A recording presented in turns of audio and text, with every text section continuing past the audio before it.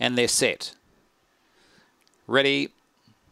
Racing, Lajuri Manelli jumped okay, showing early speed was Burswood Bandit. Working across out wide was Lily Lana and also Stargazer. Something had to give. Burswood Bandit was checked along with Renewed from the outside. Stargazer found the top. Out by two lengths, Lajuri Manelli works into second ahead of Ashton Thunder. Then followed by Jailbreak Guest to the outside. Lily Lana, Steve Manelli well back was Burswood Bandit. Off the back they go. Stargazer race clear. Out by six lengths. Trouble behind the leader. Steve Manelli gets through ahead of Lily Lana, but around the corner. Stargazer race away for Credelli. Wins by four four lengths on Steve Manelli. Third in was Lily Lana, a gap in the field. Jailbreak Guest renewed and Burswood Bandit. Well back Aston Thunder. Jury Manelli's finished at the rear.